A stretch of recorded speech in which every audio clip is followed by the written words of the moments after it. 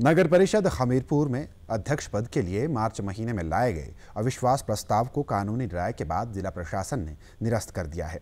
इस बारे में उपायुक्त हमीरपुर की ओर से उपमंडलाधिकारी को एक पत्र भी जारी किया गया है। ऐसे में अब मार्च माह में नगर परिषद हमीरपुर के 11 पार्षदों में 10 पार्षदों की ओर से लाए गए प्रस्ताव पर चर्चा नहीं होगी। इस निर्णय में हिमाचल प्रदेश नगर निकाय चुनाव अधिनियम दो हज़ार पंद्रह की धारा बानवे एक का हवाला दिया गया है।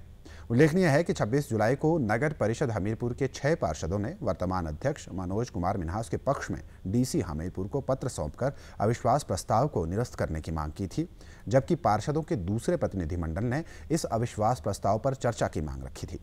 पार्षद विनय कुमार का कहना है कि अविश्वास प्रस्ताव पर 10 पार्षदों ने मार्च माह में हस्ताक्षर किए थे। इस अविश्वास प्रस्ताव को 26 जुलाई को सात पार्षदों ने अपना समर्थन दिया।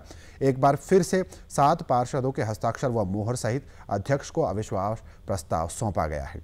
उन्होंने कहा कि नियमों के तहत अविश्वास प्रस्ताव पर चर्चा बैठक बुलाई जानी चाहिए।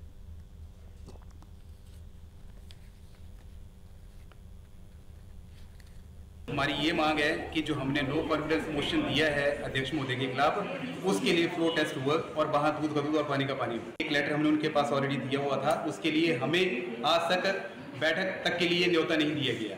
और जब कोई छः बंदे, पता नहीं कौन किसने दिया है, क्या दिया है, उसकी ऑथेंटिसिटी क्या है साइन भी बंदों के हैं कि नहीं है, ये पहले प्रूव किया जाए तो उसके बाद नेचुरल अगली प्रक्रिया हो।